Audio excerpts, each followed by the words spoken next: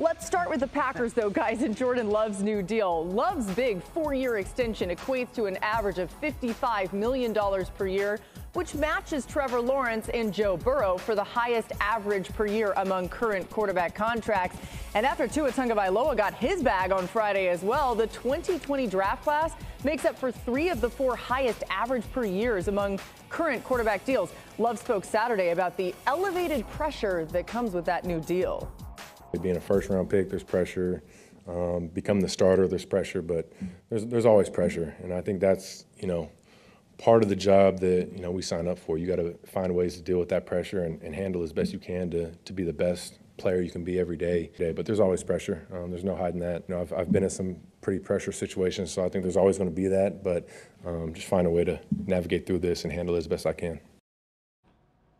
Yeah, it's important to note that Jordan Love may be relatively inexperienced, but he's not young, and you hear a lot of his maturity in the way that he answers things. Adam, we felt like this deal was going to get done, but how were the Packers and Love finally able to agree to it? Listen, they had a padded practice on Saturday, their first padded practice of the summer, Laura. It was no coincidence that one day before, both Tua Tagovailoa and Jordan Love get their deals done, and the Packers do it right before their first padded practice so that Jordan Love could be out there. Look, this was something that both sides wanted and were working towards. They had talked about the fact that they wanted to have this deal done in place by the time training camp opened. Well, it wasn't in place by the time training camp opened, but it was in place by the time the first padded practice of the summer took place. That was an artificial deadline that both sides were able to meet, and it wasn't really hard, especially once Tua got his deal done. You know what the average on this deal is going to be. It's going to be about $55 million, which is where the deal came in, and it's a four year deal, which means that Jordan Love is scheduled to become a free agent again after the 2028 season when he'll be 30 years old, and who knows what the quarterback contract numbers will be like at that point in time. But this was something that both sides were working towards all during the offseason. They knew it would be coming, and they were able to put it to bed on Friday evening. So, Mina, he didn't shy away from that pressure, right? Uh, what does need to carry over from the end of last year for Love to live up to now these heightened expectations? It's interesting to hear you talk about pressure, to hear him say that word several times, because that's actually what I think he needs to continue playing well under. Literally, I'm speaking, not of the metaphorical pressure, but how he good he was um, when he had pass rushers in his face. And that was really the biggest distinction, Laura, between the first and second halves of the season. The second half of the season, Jordan Love was elite in a number of categories. He was one of the best quarterbacks in the NFL. But what really stood out to me watching him was his play under pressure. First in QBR of any quarterback in the second half of last season, QBR of over 80, and there was a litany of reasons for that. Some of it was uh, his faith in the structure of the offense, his understanding of it, knowing where his outlets were, but also his physical tools. He's just so good at making those off platform throws, moving inside the pocket. Versus the first half of the season, uh, under pressure, he had a QBR of 13, which was bottom 10 in the NFL. I think it's more likely than not that we will see second half Jordan Love next year for all of the reasons I described, but also for the additional reason uh, uh, of the fact that he gets to play with this incredibly young group of pass catchers that he now has a year of experience playing with they will be better and he will be better with them as a result. They went through some of those early season challenges together, which is important. There he is, Ryan Clark. Welcome to the show. We're so glad to have you here with us. Let's get your take on Jordan Love, RC, after he gets this big deal on Friday. What are your thoughts? Uh, the first thing was I forgot I was on Central Time, so I was going to start the show at man. 4 o'clock Central. They'll get you. Which would have put me an hour late. Uh, so that would have been bad. You know, I think the the thing about Jordan Love is I don't believe that the pressure has actually heightened in any negative way. The only reason that there are higher expectations of Jordan Love isn't because of the money. I believe all of these good quarterbacks are going to get good and very plentiful contracts. It's because of the way he played down the stretch of last season. It's because this team was 30 minutes away from being in the NFC Championship because they were beating the San Francisco 49ers on their home turf. And much of that is because of the play of Jordan Love. Now you add Josh Jacobs. Mina already mentioned how good this young core of wide receivers are. And part of their maturation process went along with the ascension of Jordan Love as well. So I'm excited to see what Matt LaFleur and Jordan Love do this year, and now understanding each other a little bit better than they did before last season, and also having confidence in the fact that their relationship can work. Well, you heard Mina talk about the fact that Jordan Love handled pressure last season, the pressure that came at him. And really, it's been that way throughout the course of his entire career in Green Bay. There was the pressure of coming along with this team trading up in the first round to go pick him at a time when Aaron Rodgers was on the roster. There was the pressure that came along with trading away Aaron Rodgers, knowing that it was your job and you had to replace the latest Green Bay quarterback legend. There was the pressure of having to play with this team not picking up his fifth year option, knowing that you were playing for the type of contract that he got on Friday night. There was the type of pressure that came at him last year. There was the type of pressure that came along in the playoffs where they went into Dallas and beat the Cowboys soundly. There's been pressure all throughout his career. He's met every obstacle so far and proven himself, which is why he landed the contract that he did. Pressure's been nothing to Jordan Love, and it will continue to be something that he will continue to try to combat this upcoming season and for the remaining years in that contract. Yeah, this wasn't real pressure like in game, but even when he got out there for that first padded practice on Saturday, after, of course, all this talk around his deal, and then he ends up signing the deal, he threw a nice touchdown, touchdown pass pretty early on in that one and looked exactly like he's always looked, um, at least in recent memory. Tua Tagovailoa finally got his big payday, but considering he went one and six, including playoffs against teams that finished the season with a winning record and eight touchdowns and seven picks in those seven contests. Some people raised their eyebrows, but comparatively, Tua went 10 and one against teams that did not finish 2023 with a winning record and had a QBR that was 20 points higher than when he played the winning squads. Here's Tua's reaction to his new deal over the weekend.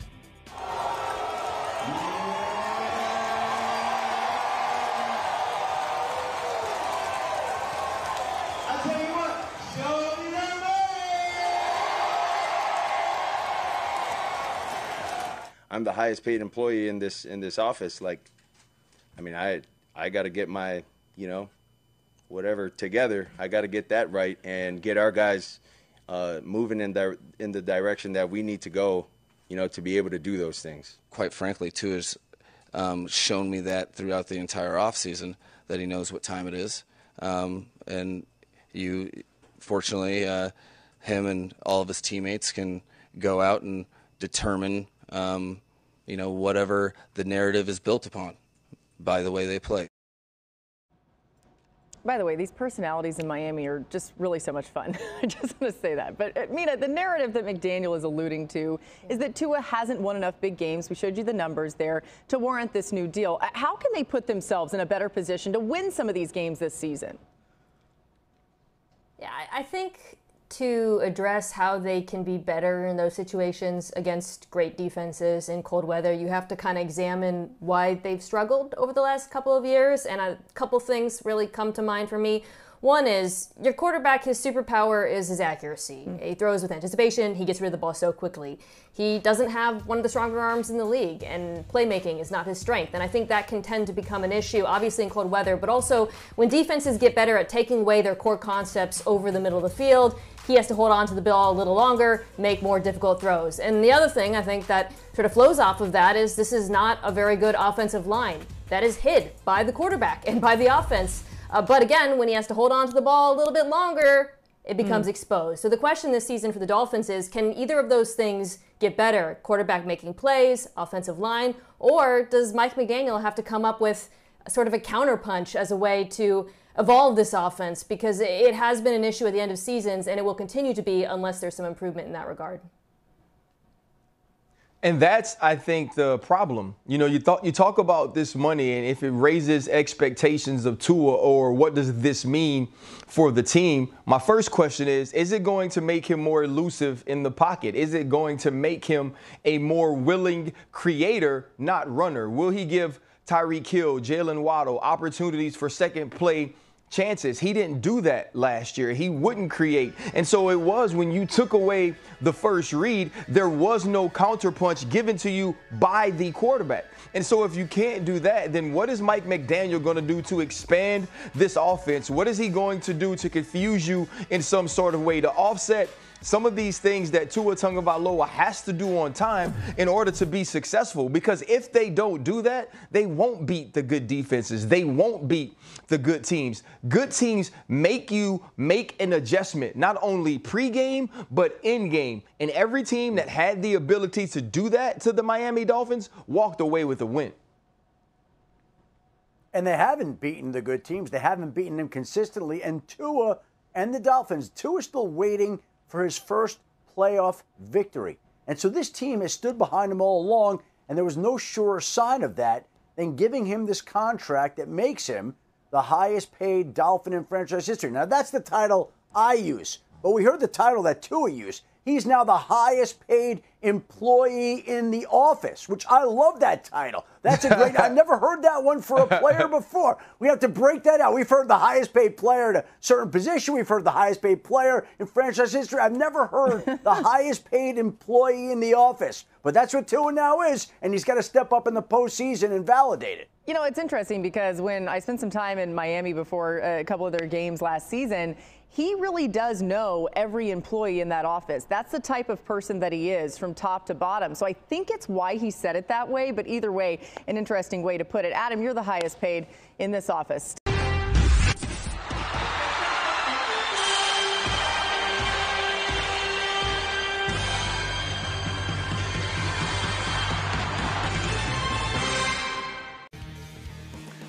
Just three days away from the start of the preseason. How crazy is that in Canton, Ohio? The Hall of Fame game between the Texans and the Bears as we welcome in senior NFL insider Adam Schefter. I guess the summer, for all intents and purposes, is over for some of us. Adam, uh, can we expect to see Caleb Williams on Thursday? What are you hearing about that?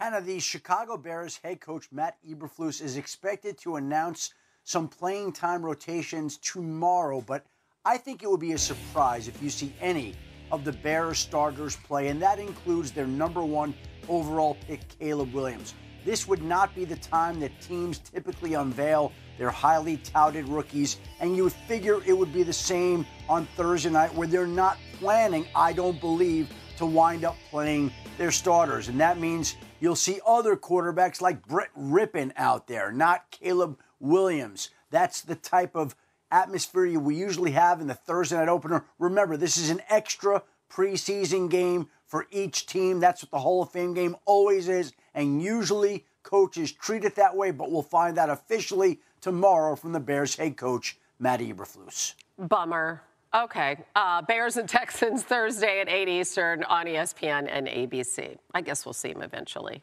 I know that's the plan. All right. Meanwhile, what the heck is going on with the Cowboys? Um, huge questions off the field. Jordan Love and Tua, they get their contracts done at the end of last week, leaving Dak Prescott as the top yeah. quarterback without a new deal. CeeDee Lamb, we know that he is still absent. What's the latest there?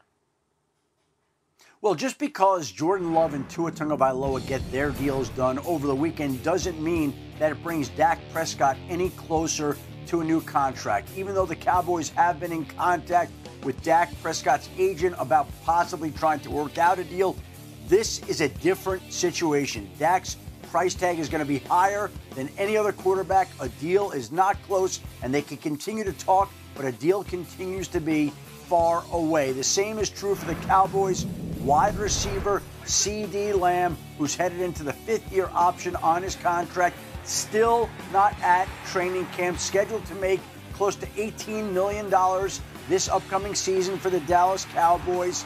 And it's a situation where they want to get this done. They've been planning to get this done, but it is still not done. And as long as it's not done, CeeDee Lamb is not showing up to training camp, not worried about any fines he's incurring right now, knows that there's a big payday on the horizon, and it's up to both sides to figure out how they can get this done. No sign in sight.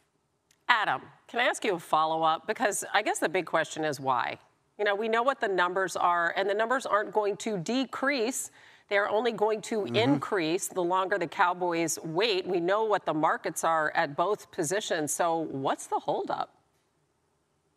It shouldn't be hard to figure out. The roadmap is there for everybody. Before, Dallas was having a hard time because they knew CeeDee Lamb wanted to wait for some of these other deals to come in. But now, Justin Jefferson has come in. Jaylen Waddle has come in. A.J. Brown and DeVonta Smith have come in. It shouldn't be that hard, and yet the two sides still are struggling. So clearly, either Dallas isn't offering what CeeDee Lamb thinks he's worth, or CeeDee Lamb isn't willing to take less than what he believes he's worth. But again, they are at a stalemate, no solution in sight. Sometimes these things happen. See the Niners and Nick Bosa last summer before they figured it out late in training camp. Yeah, but you're not just dealing with one player here. You're dealing with the quarterback and the guy who's you know responsible for most of yep. your offense. Um, yeah, the yep. lack of, of sense of urgency is is really stunning. Here is the bottom line. Obviously, you know, Jones referring to the fact that Dak, the Cowboys, they haven't played well in the playoffs, but he hasn't given Dak a new deal. And Prescott is set to become a free agent, and he has a no trade clause and all of the leverage. And we have Todd Archer live. It's Dak's 31st birthday today. So happy birthday to him. No one's thinking the team's going to give him any kind of present today, uh, Todd, but is he even going to get one this season? Uh, what's the latest from your perspective? You're inside there. What are you hearing? Yeah, you mentioned his birthday, Hannah. Cowboys are off today, their first off day of training camp, and Dak's able to celebrate his birthday with his family, including his baby daughter MJ. So a good good day for him there, and a better day whenever the Cowboys get this long deal deal done. Uh, with Prescott. But one, the good news, they are talking. Last week, the Cowboys sent an offer to Prescott's agent, Todd France. Now, that was before Miami signed Tua, before Green Bay signed Jordan Love. And the Cowboys are in a situation now where they know what the price is. They don't believe those deals really impact much as to what Dak was going to get. But now it's just the waiting game. And it seems like the Cowboys like to play the waiting game. One guy, another guy who likes to play the waiting game is Dak Prescott patient in 2019, patient in 2020, got his everything he wanted in 2021. He can be patient now, knowing if he hits the open market March, next March, he's going to get everything he wants. So we, we continue to wait for this deal, even as he says he wants to be a Cowboy, and even as Jerry Jones says he doesn't envision Dak leaving here after this season. Yeah, well, it really behooves him to wait, Todd, because that price tag, as you well know, is just going to keep going up and up. Meanwhile, though, some not so great news. So the Cowboys with a new defensive coordinator, of course, in Mike Zimmer, and uh, their pass rusher, Sam Williams, he tears his left ACL. I understand he partially tore that MCL also in practice yesterday. That's a pretty big hole to fill. So where does that leave them? Yeah, it's a tough blow for the defense. They were really banking on Sam Williams this year to be a, their third pass rusher behind Micah Parsons, behind Demarcus Lawrence.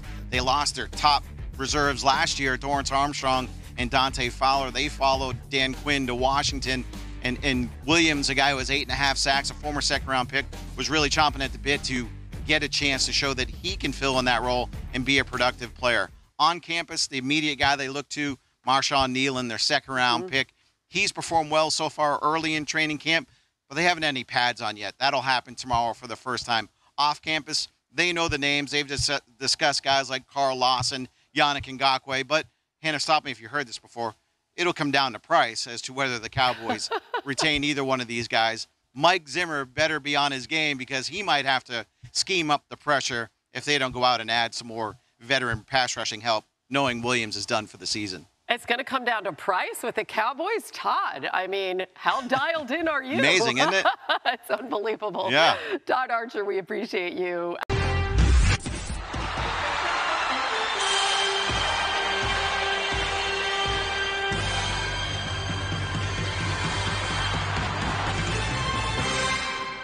As an ardent Philadelphia Eagles fan, diving into the latest updates from training camp is always thrilling.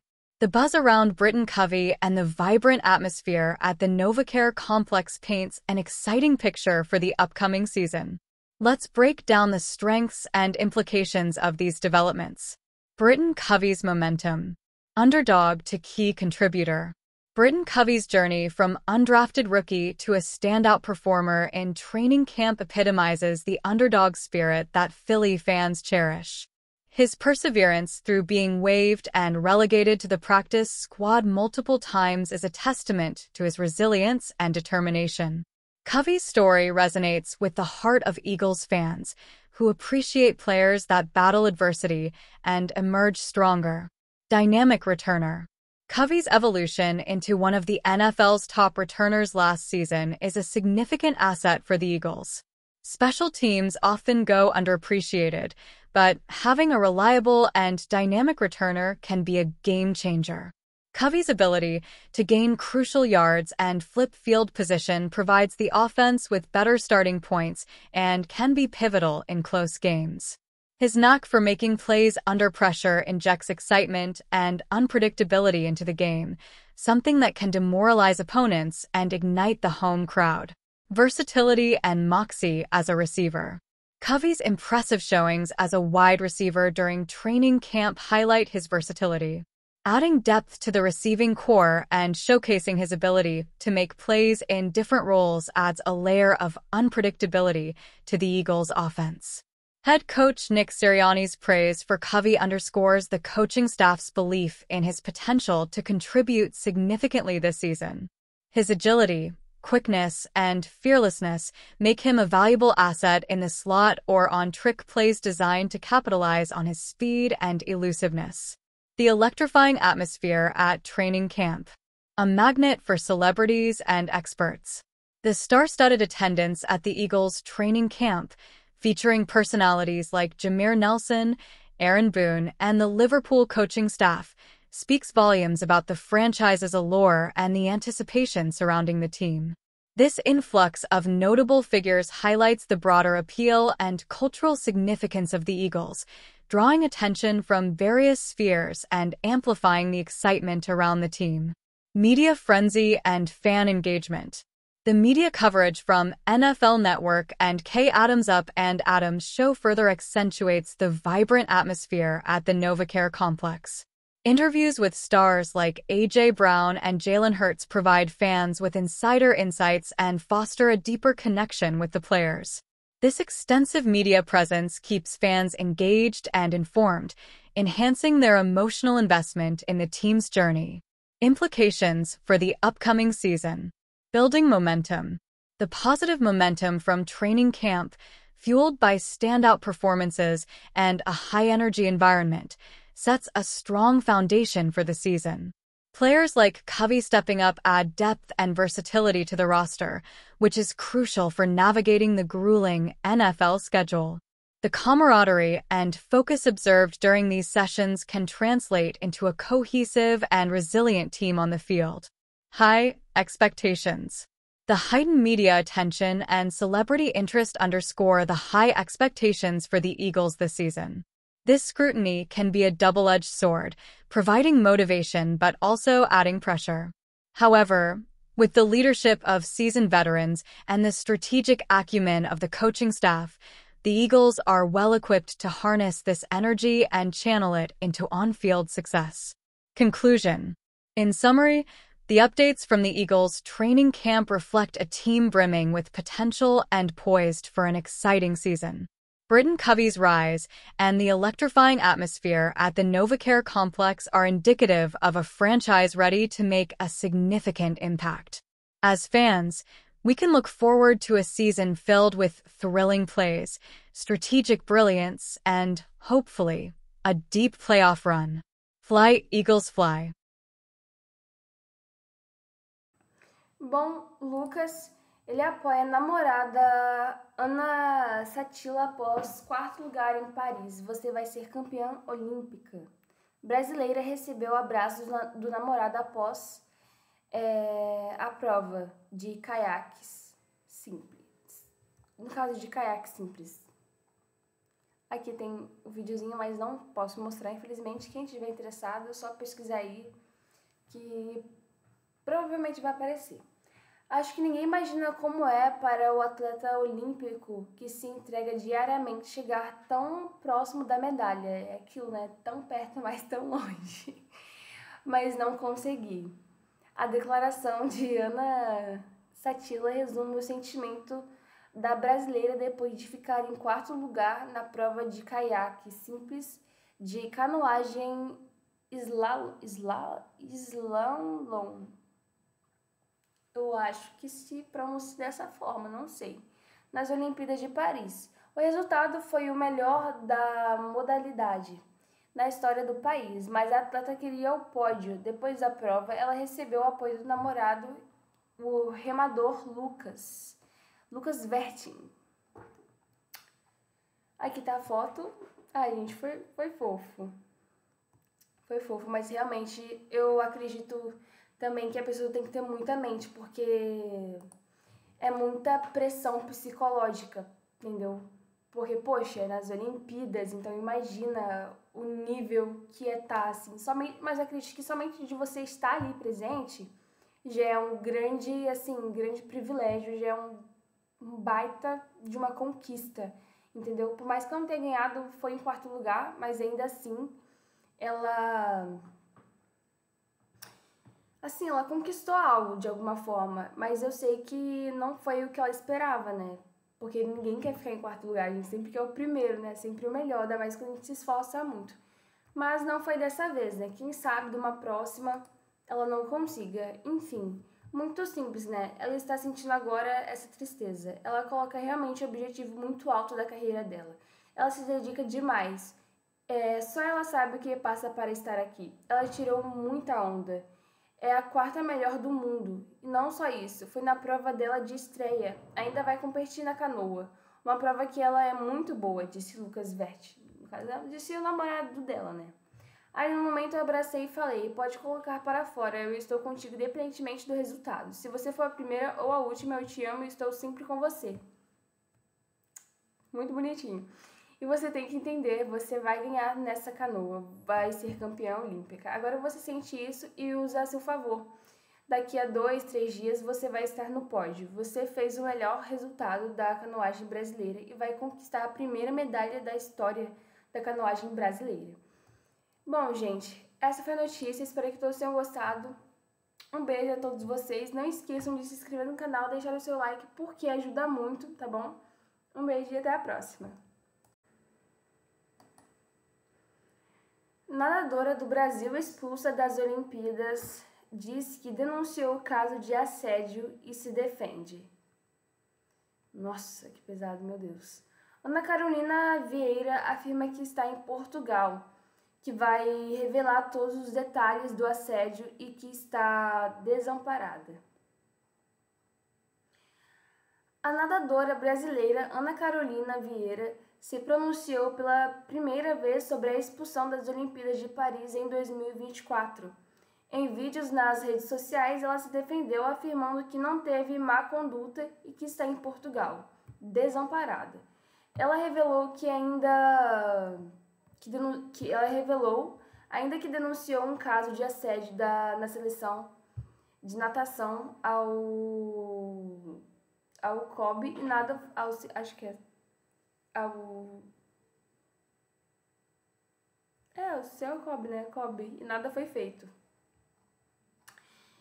Bom, não consegui falar com ninguém. Me mandaram falar com os canais do COB, mas como vou entrar em contato com os canais do COB, se já fiz uma denúncia e nada foi resolvido de assédio dentro da seleção. Realmente, gente, uma situação muito complicada, chata e crime, né? Crime, assédio é crime. Enfim, a brasileira nas redes sociais não especificou como ocorreu o assédio e nem quando. Então não sabemos o que rolou, mas ela disse que foi um assédio. Mas disse que irá revelar todos os detalhes com a ajuda de um advogado. Vou falar tudo, vou falar com os meus advogados, tudo certinho. Prometo falar tudo. Estou em. Estou triste, nervosa, não sei. Mas estou com o coração em paz. Sei do meu caráter e da minha índole. Isso que importa. Espero poder defender a natação brasileira feminina. Contem comigo, só peço um tempo e um pouco de paciência. Ainda segundo a Ana Caroline, ela teve de deixar a Vila Olímpica sem arrumar direito as malas e sem contato com ninguém. Ela só foi-se embora. É... Bom, aqui tá a foto dela, essa foi a notícia. Eu espero que todos tenham gostado e entendido. Não esqueçam de se inscrever no canal porque ajuda muito, tá? Deixa seu like, ativa o sininho. E obrigada a cada um que ficou até o final. É realmente muito legal e importante. E eu espero que toda essa situação aí, né, se resolva logo. Porque é realmente muito chata, triste, né? Enfim. Um beijo e até a próxima.